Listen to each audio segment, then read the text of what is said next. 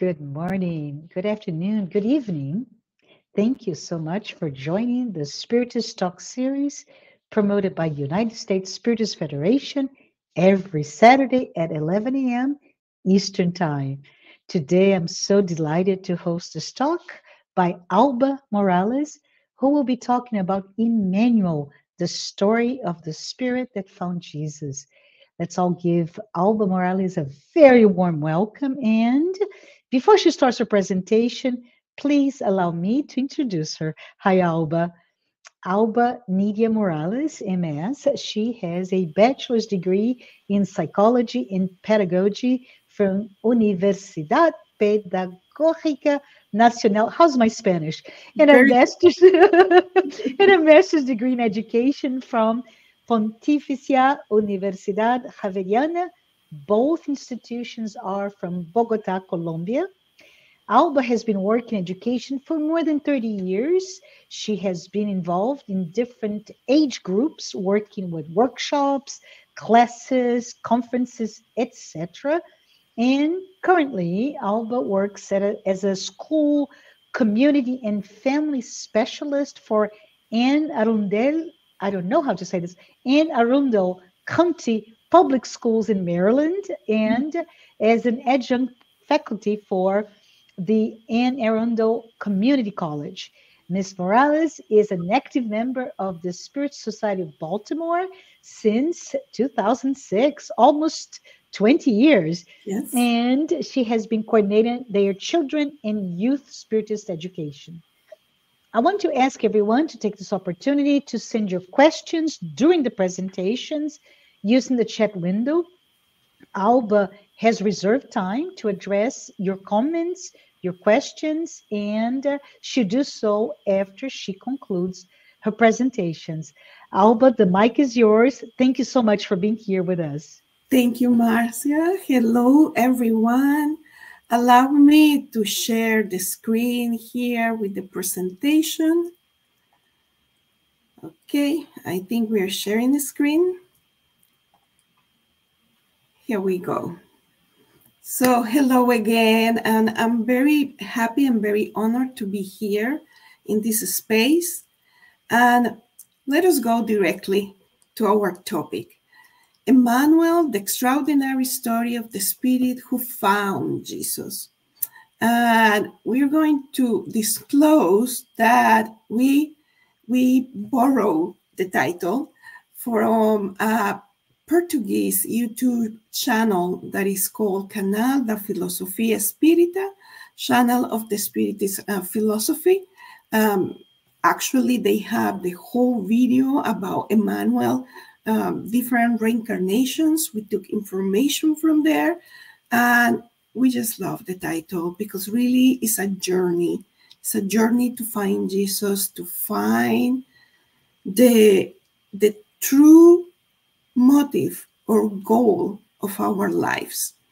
We also would like to say that we took information from our research that Geraldo Lemos Neto, Geraldinho, we call him the Spiritist movement, he uh, got the opportunity to meet Francisco Candido Xavier or Chico, Chico Xavier. Uh, actually, he he was a good friend of Chico for a couple of years.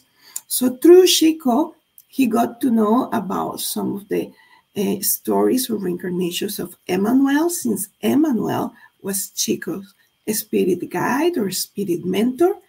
And then once Chico discarnates, he also communicated, you know, in a mediumistic meeting and gave all this information to Geraldinho, and he created a beautiful table in which he he uh, observes and relates different characters from the books um, Paul and Stephen, 2000 years ago, 50 years after, Renunciation, Hail Christ, and we're going to see the books in a minute. So he put all the characters of these books and their reincarnations going from the empire, from the Roman Empire to the first half of the 20th century. and it is an amazing job. And actually, if you want to watch this presentation, it's in English. Uh, it's through the Spiritist Society of Virginia. You just uh, found it in YouTube. So let us see what was the first um, reincarnation that Emmanuel disclosed to us. But first, we're going to check this quote by Allan Kardec. To be born, to die, to be reborn yet again, and constantly progress. That is the law.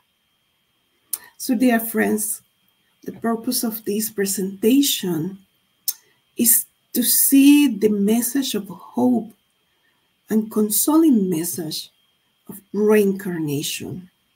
We cannot achieve everything that we need to be a truly a happy spirit, a perfect spirit, as Jesus is asking us, without the blessing we will call of reincarnation. So, yes, maybe uh, getting to know Emmanuel's reincarnation is to satisfy our curiosity because we want to know, okay, what he did before being Emmanuel. And, you know, and with Chico uh, psychographing more than 400 books, etc., etc., and some other special loving spirits that we have in the Spiritist movement, like Joanna de Angelis or Dr. Bezerra de Menezes, to know what they were before being this character and this person that we know, right? But the most important part is to see here the journey. So let us see Emmanuel's journey. So Chico Xavier disclosed to us uh, a reincarnation in the ninth century before Christ. Emmanuel's name is Simas, the great priest of Egypt. And with this specific reincarnation, we see that definitely it was previous reincarnations for Emmanuel to acquire a level of intellectual development and also a level of spiritual development. One of the great things about the ancient Egypt civilization is that they bring with them this notion of the uh, survival of the spirit after death, Lord Spirit that way, that way, also communication with the spirits, and reincarnation. Three very important concepts that is that are going to accompany Emmanuel through his different existences. And one other thing that we would like to share with you, you maybe maybe know the story or not, about the ancient Egypt civilization is that they were coming, the spirits, they were coming from outside of planet Earth. And we can find this account in, in a story also that is called the um, Exiliates from Capella. Capella was a star, is a star, very far from planet Earth. And we're talking about more than 2,000 years ago, more, even more. So it was a moment on the star, there were inhabitants there, that they were facing the same or similar situations like we are facing right now on planet Earth. We are in a moment of transition. We are moving from a planet of trial and expiations to a planet of regeneration. So that was the situation with Capella. And it was worse, and it was suffering, and it was uh, horrors and things that we are undergoing right now. So the spirit governor of Capella communicates with Jesus, who is our spirit governor, and actually they have a meeting with other high vol of spirits to see some of these spirits from Capella that were really in, intellectually well developed about science and arts and technology, but morally speaking, they were still in an infancy. they were still in need of a lot of progress. So they were thinking if they can take this large group of spirits and bring into planet Earth to reincarnate. They agreed that this would be wonderful because at the moment we have the very first um, signs of civilizations, not even civilizations, life in our planet in Africa. And we needed that boost, you know, to get, uh, to impulse progress, to move progress in direction of science, technology, arts, etc. So here we go. We don't know if Emmanuel is coming from Capella or not. So please don't take this information. We don't know. We are just saying that these spirits from Capella brought with them all this knowledge and information to boost the progress of planet Earth. And being the great priests of this nation means a great level, a great development, intellectually speaking and spiritually speaking. So that's how Chico Xavier is going to start this story of Emmanuel's reincarnations, which for us is like a, oh, you put the bar too high because I'm just a simple mortal. Let's see what happens in the next reincarnation. So we have uh, here, let me see my here. The next reincarnation, after being the great priest of Egypt, he was in Rome as a consul Publius Cornelius Lentulus Sura. He lived between the second to the first century before Christ, and we can find uh, an account of his life in the book um, by he's the author of the book. It's called Além da Parnaso, and please forgive me, my Brazilian friends, for my Portuguese, which means beyond the grave. And this book is not available in English yet. Hopefully soon, we'll see. So as a, as a consul in the Rome Empire, he also has a certain influence over the population, but also if we see in the second century before Christ, most of the people of the planet, we were illiterate we didn't know, we didn't have access to regular education. So just having the position of a consul means that he was from a wealthy family, from a noble family, and he had the opportunity to, to develop his skills. There is no a lot of mm, situations that uh, Chico Xavier mentioned about Consul Publius Cornelius Lentulus is an experience in the Roman Empire. We don't know how he discarnate, but we see him again in the planet Air in our scenario as a senator, which is a higher uh, position. Senator Publius Lentulus Cornelius. We don't even know how, why or how he got a very similar name, but Senator Publius Lentulus Cornelius, we can see how was this character or this person in the book 2000 years ago by Emmanuel through the mediumship of Francisco Candido Xavier. So he was in the first century and he lived in different places. He was born and grew and was educated in Rome. Then he was sent as a, you know, as a part of the Roman Empire. They have commissions. They send their officials to different places around the globe. Uh, so he was sent to Galilee. And after that, he went to Pompeii.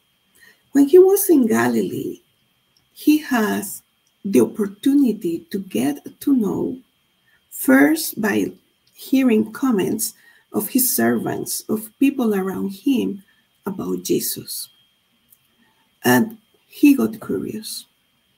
He got curious, so he started observing him kind from far. One of the characteristics of Senator Publius Lentulus Cornelius, he was a serious yet affable man, um, with a very serene presence. And he was very devoted to his family, especially to his wife. And he wrote the most beautiful poems of love to his wife. However, he was suffering in silence because he suspected that his wife was unfaithful to him, even though he never put her under the public eye, he continued loving her. And he truly believed in the philosophy and ideas of the Roman Empire. He was proud of being a senator serving his people, his empire. So he hears about this Jesus, and he had the opportunity to meet Jesus in person. And they have this very profound conversation, and Jesus inviting him to join Jesus, to join him, to follow him.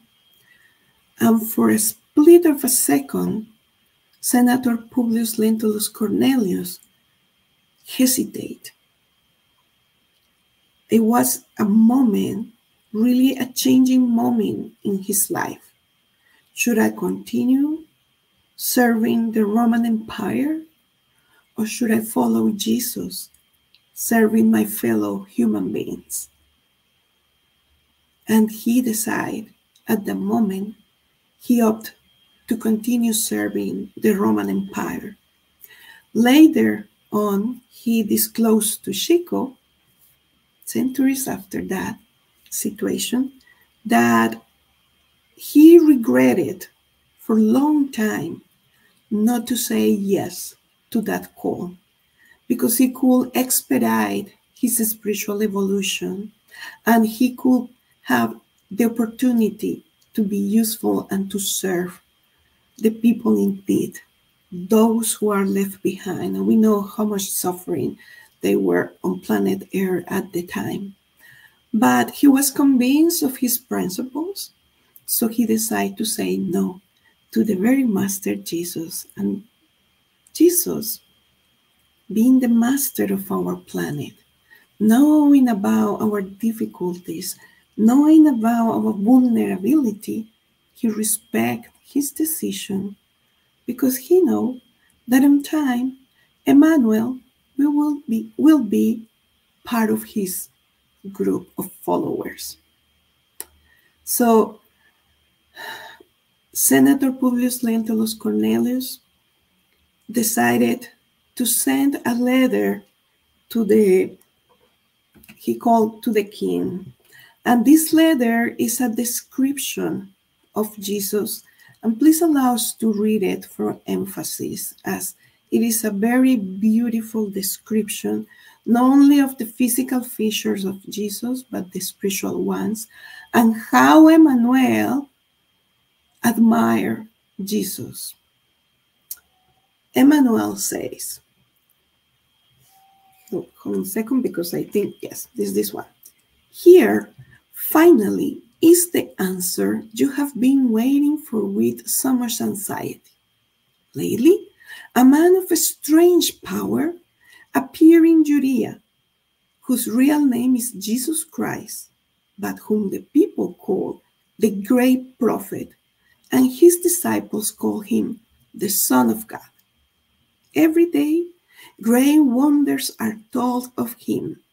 He raises the dead, heals of illnesses, and brings all of Jerusalem into amazement with his extraordinary doctrine. He is a tall man with a majestic appearance. His face, at the same time severe and sweet, inspires respect and love in those who see him. His hair is the color of the wine and falls wavy over his shoulders, which is divided in half in Nazarene style. His forehead pure and proud, his skin pale and limpid, his mouth and nose are perfect. The beard is abundant and the same color as the hair, the hands thin and long, the arms of enchanting grace, blue eyes placid and bright. He is serious, judicious, and sober in his speeches. He finalized the letter this way Rebuking and condemning, he is terrifying.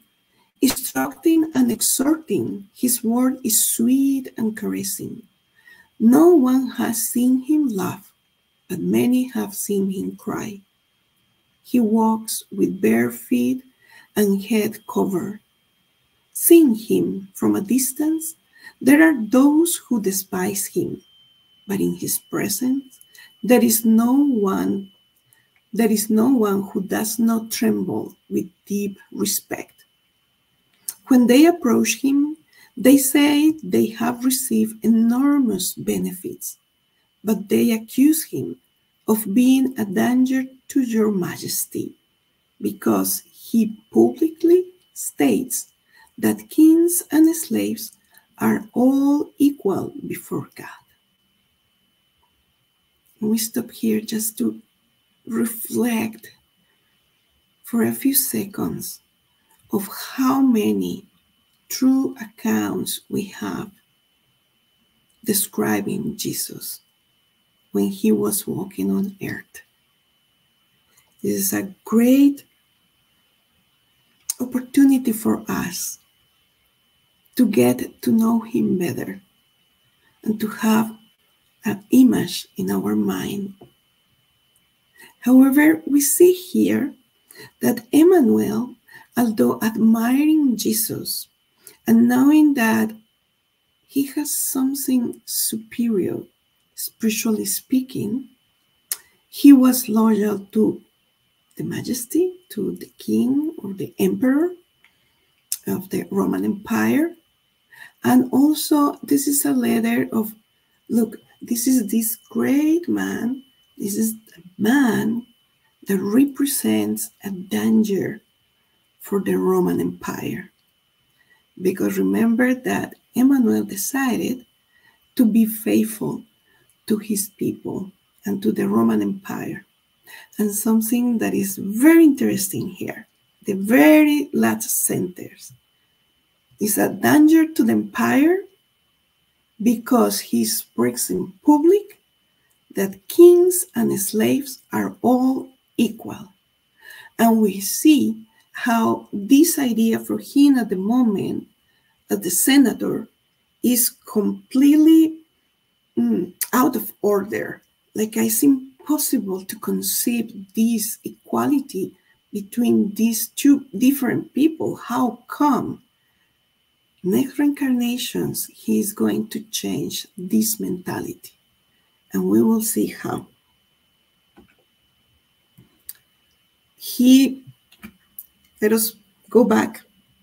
Senator uh, Publius Lentulus Cornelius, he discarnate in Pompeii when the Vesuvius, the volcano, erupts, right? It's very famous. We go to history there in Italy, and we see how these all um, the, the bodies, the, the animals and the things, they were petrified um, because of the composition of the lava of this specific volcano. So Senator discarnates in Pompeii, very weak uh, and ill, talking uh, from the organic point of view. However, at the very last years of his life, he decided to embrace Jesus' message as a, as a, as a learner and someone that is just starting a journey. And this is important because we know that as spirits, what we take to the spirit realm, when we take, when we go back to our true country, is all knowledge and everything that we have learned during uh, that lifetime. So he takes this even it seems like I saw so very the very last moment you're not going to be safe, but we don't believe in that. The spirit is, so he takes that to the spirit realm, and he comes back, and he comes back from being a senator of the Roman Empire to being a slave. And here we have the slave Nestorio. He lived in the year 131 after Christ. He was born in Asia. He had the opportunity to go to Egypt, if we could have the opportunity, because being a slave is not many opportunities that you have. But he was in contact with the Egyptian, the Egyptian culture. And again, he relearned or he remembered all the teachings from this culture. Remember, there is the life of the spirit, communication with the spirits, reincarnation. And then with his master, they moved to Judea.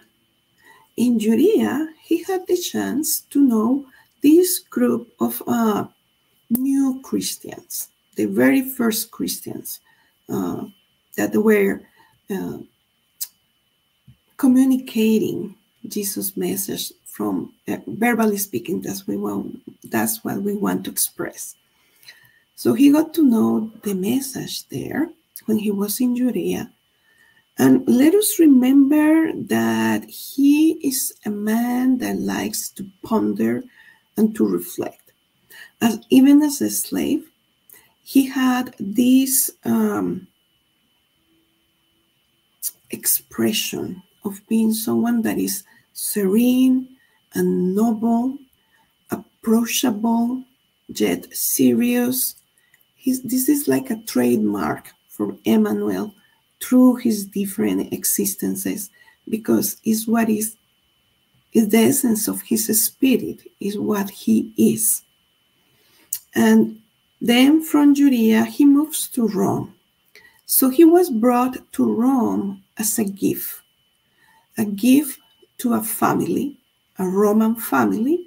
This Roman family was composed with the father, the mother, and two um, teenage or very young daughters. Nestorio, he became the teacher for the two young ladies.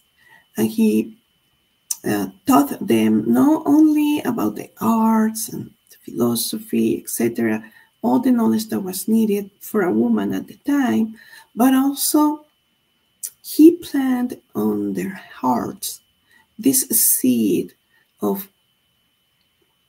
inner transformation, the desire for inner transformation, the seed of serving others to be charitable, the seed of seeing all humans as, equals, no matter the position, because at the end we are all spirits, children of God. Nestorio was very loved in this uh, household, and we can see his story in the book 50 years later. Nestorio, he um, had a son.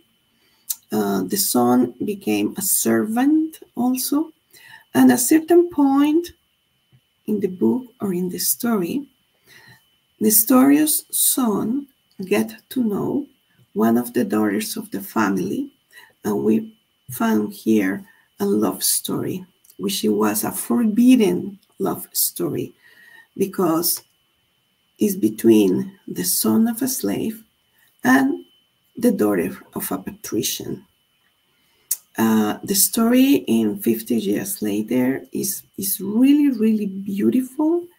Uh, the main character, which is Celia, if we are not mistaken, it is a true role model for us in the sense of uh, renouncing to what we have and serving others without a hiding agenda. And this was possible only because she has the great influence of Nestorio, but because she was special spirit whose story transcends all the pages of these five books that I mentioned before. So here we have Nestorio. as a slave. And that was his life at the moment, with the very desire of having a positive influence in people's life. So he discarnate, he discarnate as a martyr because uh, he publicly uh, expressed he was a Christian and he was Jesus follower. So he discarnates as a martyr. After having this reincarnation as Nestorio, then he reincarnates very quick in a very short existence as a, in Rome, again in Rome. So we see same scenarios and the same circle of people. And this is telling us that when we reincarnate, it's very likely like we are re- we reincarnate the same circle of people because we have some depths, some situations that we need to heal, and also the places because we are responsible for that land, for that place. We create communities there, we grow there. So we go back to those places. This is true in all reincarnations? No, there is always exceptions. But at least with Emmanuel, you see how the Rome, the empire, the Roman Empire, etc., is, is the common denominator there. So he reincarnated um, as a boy uh, he grew up Christian. He was very bright and he was a tall, elegant young boy. And he dies also as a martyr, uh, tied to a pot at 14 years old. And we were thinking, hmm, why this existence was so short? So if we go to the Spirit's book, we also can find um, the answer for this question. We forgot the number of the question. Please forgive us. Uh, sometimes we have short existences just to conclude what we couldn't conclude in a previous one, not necessarily the previous previous one. It could be from other former reincarnations. Sometimes this is a, a test, not for us, but for our parents, just imagine losing uh, a child at a very young age. There are so different explanations of why we have church, a short um, reincarnation. The thing is, he reincarnates, he lives for 14 years, and he dies as a martyr. So we see that Nestorio dies as a martyr, discarnate. As a the young boy, he discarnate as a martyr. And then we move to his next reincarnation. He is again a Roman patrician. So he was a consul, then a senator, and now a patrician. Patrician, and his name is Quinto Varro. And he appears in the year 217 after Christ. And we can see his story in this beautiful, powerful book that is called Hail Christ. So again, he has these characteristics of a very noble individual, very serious yet affable, very uh, connected to his family. He was a, a, a family man. He also believes in the Roman Empire again. Uh, however, he has different ideas here because he thinks that although the Roman Empire is like a good form to govern nations, but there is something that is missing there, and is treating people equally, no matter the label. And he believes in this and he expressed this in public, which was very dangerous because his colleagues, he didn't like this patrician talking about that slaves, they have the same very human rights that them, patricians, in a good position, with a good life, with good houses and wealthy and with access to education and with access to so many other services, they were really in shock. How are you going to tell me that my slave, that is like an object for me to serve him, to serve me, is having the same rights? So people didn't like this. Quinto Varro, he decides to do a trip for work. So actually he was heading to France and he decided to do it by do it by water the Mediterranean. And it was a conspiration to kill him. Someone got to know about it, someone that is a friend of him, and give the word to Quinto Varro and say, hey, be careful because there is a conspiration. And he is okay, I'm going to be attentive. They are in the ship, they are navigating, and in this boat, in this ship, there is this, um, we can call him monk. It is a Christian, uh, Christian old individual, old guy who is going to the Gallias or France uh, to continue working and spreading the message of Jesus. Um, at the time, we didn't have the Catholic uh, Church already created, so it was this this guy was like a monk, like a, a preacher, but not with the title. The situation is this old man gets sick during the trip. Quinto Varro already know about the conspiration. So what he decided to do is interchange clothes with this old gentleman. So he wears this very the, the rags in which the monk was dressed and gives the monk the very nice beautiful silky clothes from the Roman patrician. And obviously, uh, this was uh, an agreement. The situation was that the, that night the monk uh, passed away, but it looks like like he was sleeping. So really, he passed away, and he didn't suffer all the aggression and the violence of being killed. The situation is Quinto Varro arrives to France, to the Gallias, with this new identity. And he cannot go back saying, Hey, I am alive. I'm coming back home. He has a wife and he has a son, a son that loves very dear, very, very dear. And his main reason for him in that existence, it was to help his son to find his spiritual way to progress. Because his son, he grew up in this Roman patrician family, uh, accustomed to commodities, being being very comfort, but also he was like a party guy. He was already a young man, um, doing all sort of excesses and wasting the money of his father and being the gigolo of the time. And his father was very concerned because he knew this wasn't useful for his son.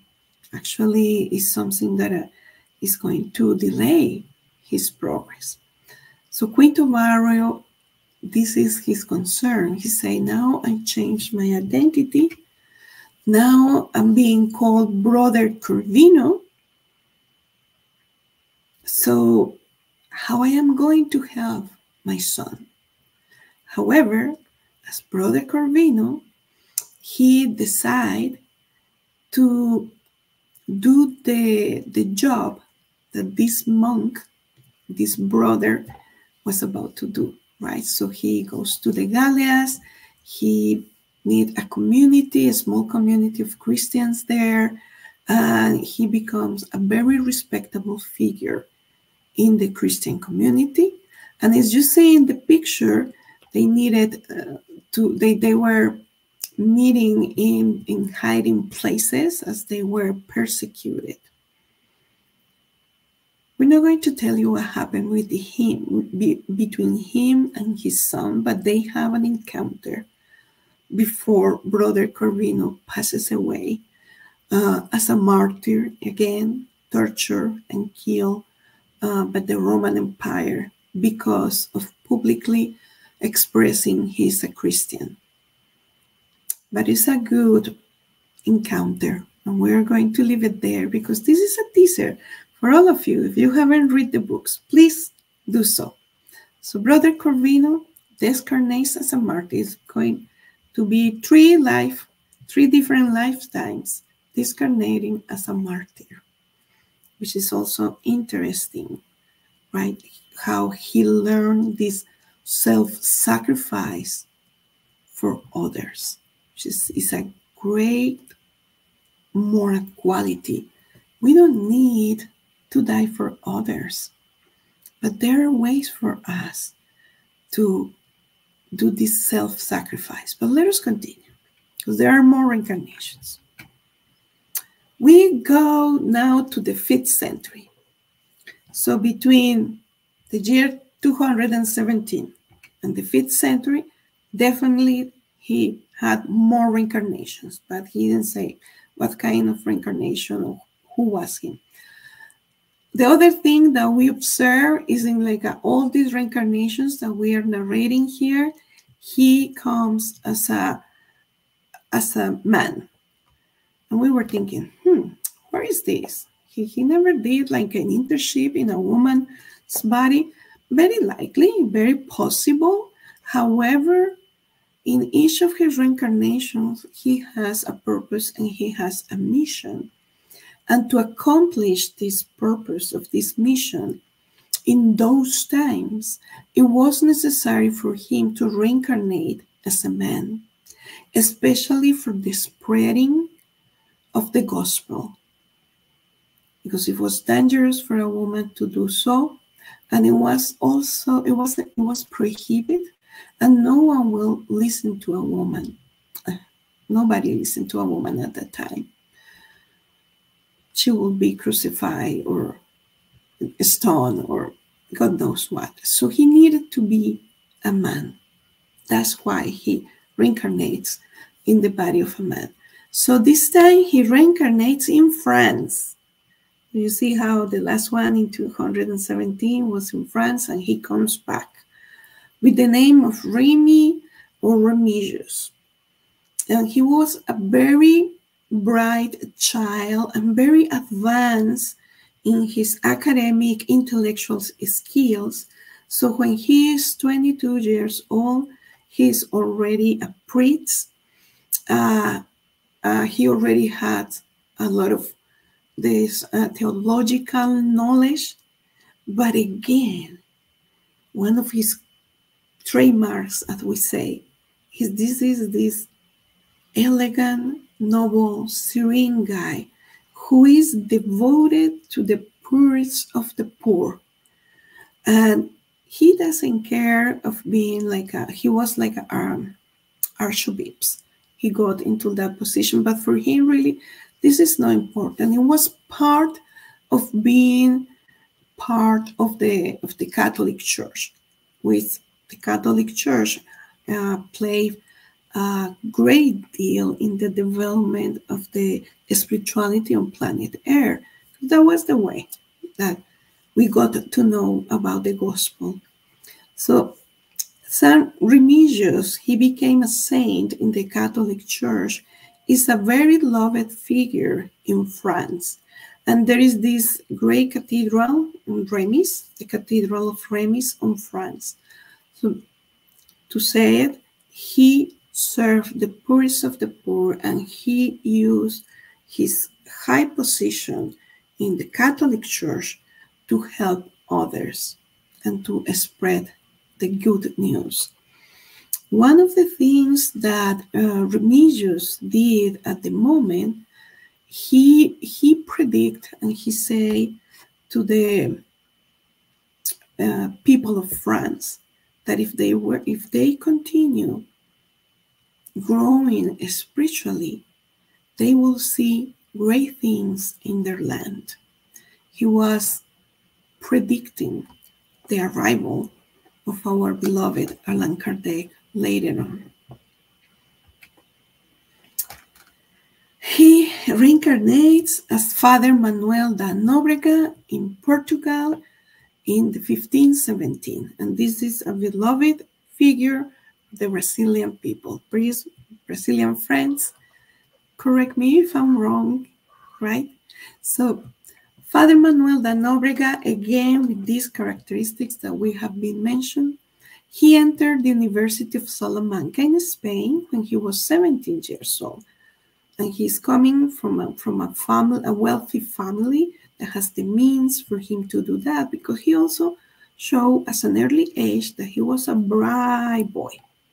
He graduated with a doctorate in philosophy and canon law in 1541 he traveled to Brazil to observe and choose the land on which he would later, later found the city of Sao Paulo in January 25th of 1554.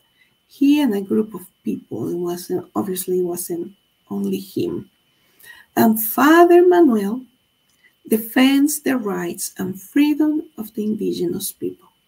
So you see how is when he was a Roman um, Patricia, he was defending the rights of the slave and servants at the time.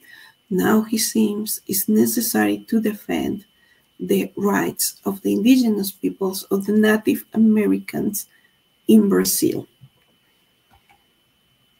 After, sorry, after his reincarnation as fa Father Manuel da Nóbrega, which is an important very important reincarnation for him as he later on as an Emmanuel is coming back spirit to Brazil to work with Chico Xavier, right? We are accelerating here. It seems like a time is running out. Then he reincarnates as a Father Damiano in Spain in the 1613. And we can see this life in the book renunciation, in which Celia, from 50 years after, comes back in this book as a Alcione, beautiful character. So Father Damiano lived in Avila in Spain. He's enlightened and dedicated priest with noble and balanced character. He fights against the slave traders. Here we go. And he dedicated his entire life to live to his neighbor. He moved to Paris, where he acquired a lung disease. The it, was the, the black fever and discarnate. And actually, he was in Paris in the time of in which this black fever really killed thousands and thousands of people. Father Damiano is the the good friend and this the support, the the, the guide and the mentor of Alcione, which is the main character of this book. He was there supporting her in all his troubles, in all the difficult situations that she needed to live. And actually, she didn't need to go through these difficulties because uh, a lesson to grow uh, as a person, as a spirit, was because she was there, she reincarnated to actually be with someone, I'm not going to say who, but uh, be with someone in need of her help. But let's remember that once we are in the flesh, it is hard to be here in planet Earth. And Father Damiano was her support. From Father Damiano, we move to the most recent reincarnation. Emmanuel reincarnated in the year 2000 somewhere in the countryside of the state of Sao Paulo, Brazil. We don't know if he's a boy or it is a gay a girl. What we know is the, the day Emmanuel born again on planet Earth, Chico Xavier, he was he enters in a trance and his spirit detached from his body and he travels to the place in which the mother was giving birth to this baby and Chico witnessed the, the new entry of Emmanuel to planet Earth. It's been 24 years since then. Chico said that he's not going to disclose in what specific part of Brazil uh, this person is, that we will recognize him or her by his or her actions. Chico Xavier changed, uh, shared this information in a very popular TV show in Brazil during the 70s called Pinga. And he expressed that we don't need the information of this a boy, is a girl, what is their name, uh, what is the town or the city, because it will be detrimental for his mission. It's like a uh, knowing that I don't know, he's a bright figure. So a lot of us we will be will be followers of him even before he is ready or she is ready for his mission. So this is, dear friends, some of the reincarnations of Emmanuel, and we see how he grew from being the great priest of Egypt to Emmanuel, psychographing in, um, in a team with Chico Xavier more than 400 books, books that are blessing us now and that are providing us not only with the, the intellectual knowledge that we need and the, the how to reason about the life of the spirit, but is bringing this water of comfort for our souls. We want to finish with this affirmation from Emmanuel he dictated to Chico Xavier in 1949. The work of the gospel continues. The change of names is not important. Above all, the execution of it is what it matters. The flag of the cross proceeds. All around us, there is people who are thirsty for the Savior. This was in 1949. With this, we are going to leave you here and we're going to see uh, what questions or comments do you have. Thank you. Thank you. Thank you so much, Alba. I love that you have so many reflections on the lives of Emmanuel, right, that you provided to us. But please stay with us for the Q&A session that will start shortly after those announcements. Number one, as you can see in the screen, registered today for the 13th Spiritist Federation of Florida Conference.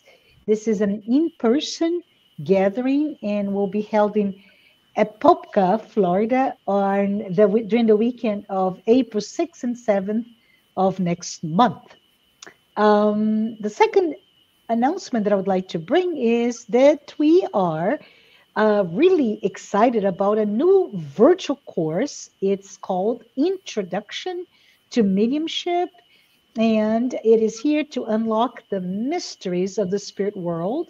It is a free virtual course for beginners, and the United States Spiritist Federation is just thrilled to invite all of us who are eager to explore the realm of spirit communications according to Spiritism. Check out the new course at the Learn That learn.spiritist.us, as you can see the link there, or you can go ahead and scan the QR code on the flyer. I'd like to talk about another announcement, which is the podcast like series, Psychology and Spirituality A Bridge to a Better Life, based on the works by Joanna de Angelis. There's a new episode every Friday at 7 p.m., and it's also available on YouTube and Spotify, many different channels. Uh, last but not least, let's talk about this amazing Spiritist app, Be My Hope. It is available now on the App Store or Google Play. and it offers uplifting content in a collection of videos, daily messages, and audio materials. Download it now. Let's see if I have any other announcements. Uh, no, we're ready. But before we go to our Q&A, you see that there is a little QR code if you want to help the U.S. Spiritist Federation produce more publications or and or promote spiritism to everyone please take a moment to scan the QR code on screen for your donation. Let's now start by addressing some of the comments from the audience. And uh, I'd love to hear from you now. So here you are, Alba. The first question that we got is Can you remind us what are the titles of the mediumistic works attributed to Emmanuel through Xavier's mediumship? I think you mentioned in the beginning, so maybe if you can tell a little bit about uh, what yes. they are. I'm going to mention the, the, the five books yes. that were referred in the presentation because mm-hmm. there are mm-hmm. more than 400 titles, right? So it was Paul and Stephen, mm-hmm. 2000 years ago, 50 years later, mm-hmm. Hail, Christ, and Renunciation. Yes. So those are historical accounts, right? So it's a for yeah, for those of us who like a story or a narrative, this is great for us to to go in from those many different perspectives. This is those are beautiful. Thank you. Mm-hmm. Let's see if you have another one. Hi, Yasko. Yasko mm-hmm. Arakawa is saying very good information, reinforcing a hard journey of a spirit through kind, honorable as the mistakes are made, we have many chances to redeem ourselves. Very true. Question for you, Alba. Interest to see that he incarnated, and you mentioned uh, briefly, mm-hmm. only as man in various social status. Can you speak to it? Yes, as I, as I mentioned in the in the presentation, at least the reincarnations that we know of, and he had certain status, right? it was necessary for him to be a man because women, we are still fighting for our rights, but the position of a woman was in the private life, in the intimacy of the home. It wasn't expected from a woman to go to the public square and do a speech. It, it wasn't expected from her and it was prohibited so for him to be a man, he had he was allowed to do all these things in the public arena because he was a public speaker. He worked in the public, under the public eye. Yeah. Women were in the intimacy of the home. Yeah, I could say that he he had a public persona, right, yes. in many different incarnations, but he was able to bring his amazing teachings through those incarnations as a mm-hmm. man. Very good. But thank you, Yasko. I appreciate that uh, question and comment. We have another one. In his return to earth as a slave, Emmanuel experiences life more humbly, right? Which mm-hmm. demonstrate the law of cause and effect. Can you explain to our audience a little bit about this law of cause and effect? What is that? cause and effect. Uh, let me use simple words.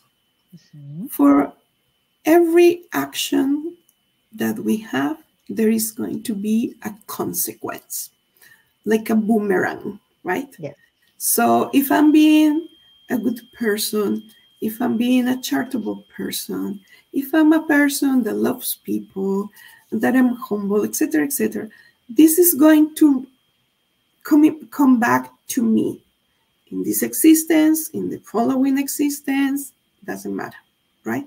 And the same when we are we, we commit errors, it could be conscious and unconscious, when we are mean with people, when we are very um, jealous and proud and all these things, we send that boomerang and it will return to us no as a punishment, right? It is not a punishment, it is a law. So if I push something from here, then I will receive the answer from there to my very own self. I don't know if I, it was a simple, hopefully it's a, a, a clear No, I- I- I love it. I love it because it really, you know, based on the physical laws, right? Uh, the third, I believe, it's the third physical law of uh, Isaac Newton. He talks about this as a force, as an energy that goes contrary uh, to the initial impulse, and there's a reaction. How does it work for us? And I love that you said that it's not a punishment, but it's an opportunity for us to learn. And unfortunately, unfortunately, we seem to learn more from hurtful experience than loving experience. And So a Mhm. lot of times those are maybe some uh, difficult lessons to learn. But uh, Mhm, uh, I, I love that. Thank you. Thank you for sharing that with us. mhm. So we have another one. Uh, what is the lesson, speaking of lessons, right, contained in the account of the exile, exile of several million spirits from Capella to Earth? Okay. That's, that's a story that that's that's a beautiful account, and that's a story from another day. Uh, Um, let me start with the following uh, about the lesson. Um, the, the these people, these spirits that were exiled from Capella, before they reincarnated, they receive a beautiful, encouraging uh, speech, let us put it that way, from Jesus. Jesus welcomed all of them with a pure heart, with an open arms, encouraging them to go to this primitive planet that was planet Earth, and saying that they will bring so much progress and so much good to our planet. And after doing their job and fulfilling their responsibilities, they will be able to go back to their beloved Capella because definitely they, they felt they were exiled and going to a place in which I'm not going to have the same level of um, sci- uh, develop, um, science development, etc. is is scary. The lesson here is about, or at least for me, is about the mercy of God. That we all have our chances and our opportunities. And it's up to us. It's about our free will, how Mhm. we want to do this spiritual educational journey.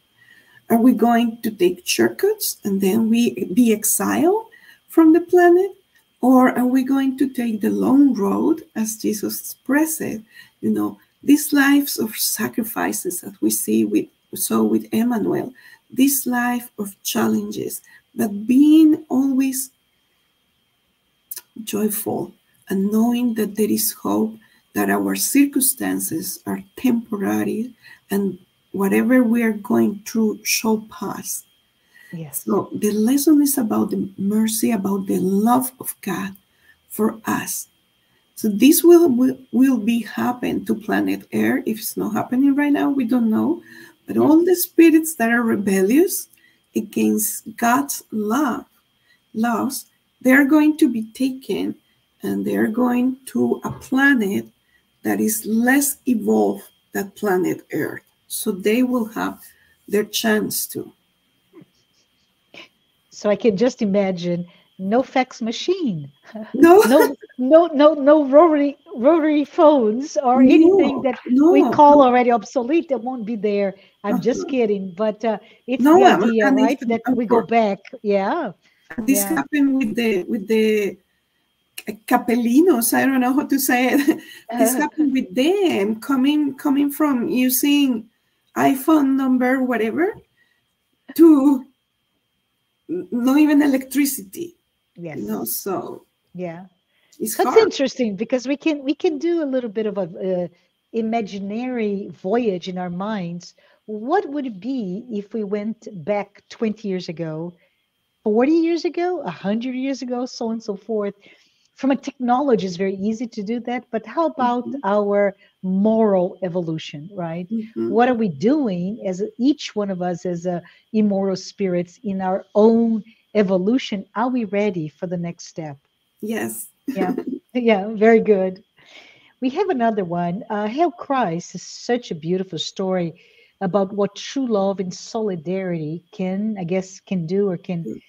Yeah. What can we learn from the capacity to endure difficulties so that we can transform our souls toward healing and well being? What can we learn from the capacity to endure difficulties so we can? What can we learn? Mm-hmm. Every time we go through an existence, every time that we go through a difficulty, to a moment of sorrow, to a moment in which our strength is tested. Yeah. If we are resignated, and let me explain the word because I think in English doesn't mean the same. It has a more of a negative yes, but pronunciation. Accepting yeah. is accepting God's yeah. will.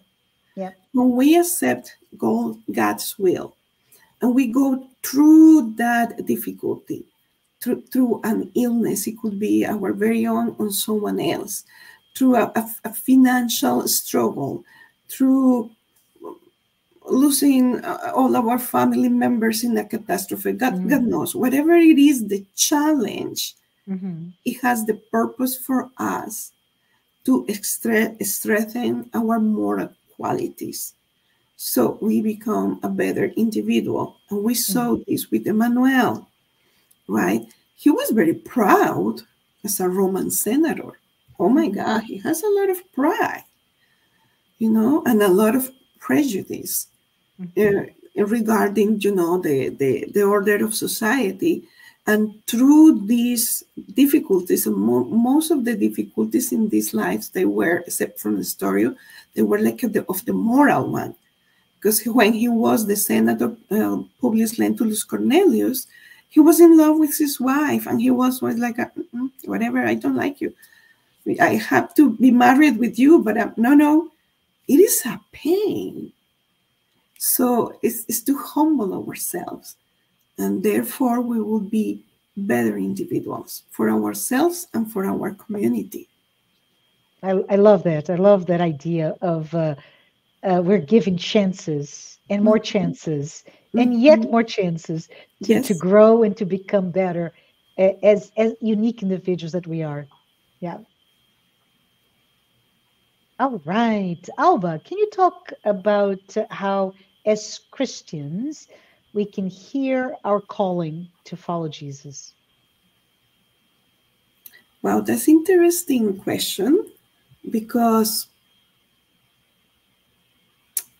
Christians as a followers of Jesus, mm-hmm. not Christians in the sense of the religion, because mm-hmm. the religion entails that there are certain dogmas and there are certain even movements like a physical mm-hmm. positions sure. and there are certain hierarchy that we need to follow and to learn so i'm going to respond as a christians as a yeah. following jesus jesus is the governor of planet earth so how oh let us know ourselves. Let us get to know ourselves first. Let us see ourselves as honest as possible in a moral mirror and see how many things we still need to conquer and how many others we already conquer. Mm-hmm. Uh, so just to feel this calling is the calling for our betterment, calling for our inner transformation. That's that's the call because really what God wants from us is to be happy. And Jesus says, Be perfect as my Father is perfect. We are not going to acquire perfections as God because God is God. we cannot reach that level, but as perfect as possible. Absolutely. I love it. Thank you. Thank you for saying that. And uh, and and I think it's that lesson to be courageous, right, Alba, mm-hmm. and and uh, uh, allow room, allow a space for us to uh, unearth our deep self, which is what connects us to God at, at its the highest core, the the mm-hmm. deepest core. So mm-hmm. love it, love it. I think we have one last question before we have okay. to say goodbye. And uh, we ask here, um, we have this question Jesus communicates God's truth. He teaches love, forgiveness, and loving our neighbor. How does Emmanuel's journey teach us to live a life based on Jesus' teachings? I thank you for such such a great questions, but made me think a lot. But let us say um, one word, and it's the title of one of these five books. Uh, actually, the last one, Renunciation. When we develop the capacity of being willing to renounce, to let go of material things. It doesn't mean that we are going to live under a bridge. It means that we are not attached, that we renounce we mm-hmm.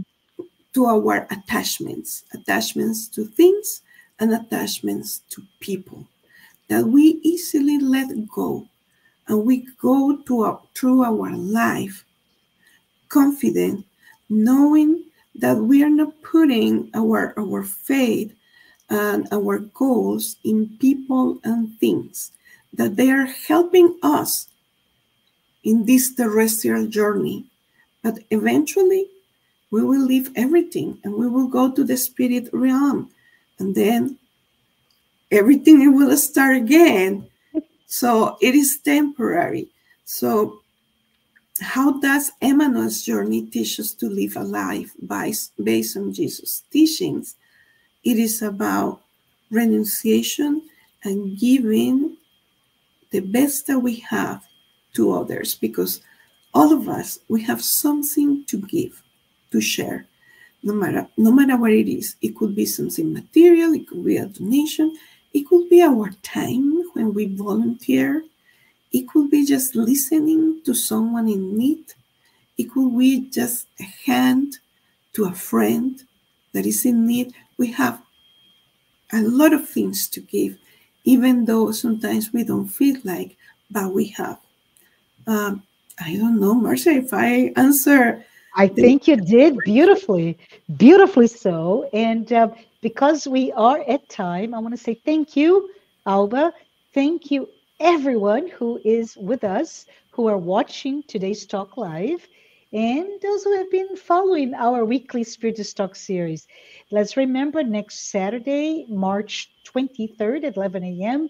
Eastern Time. Don't miss our next live when Humberto Schubert will be discussing the future of religion. And before we go, I would like to ask you one last question. Alba, would you mind saying a prayer to us? I don't mind at all.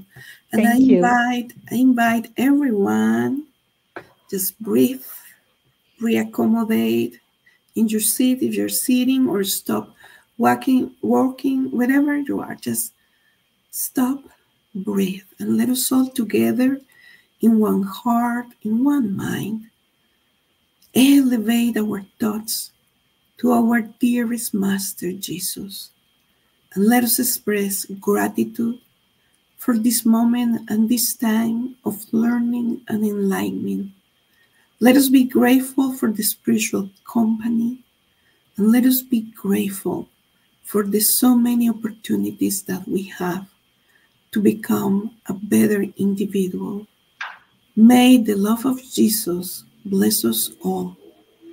And may the love of Jesus give us strength to continue our terrestrial journey. and so be it. So be it.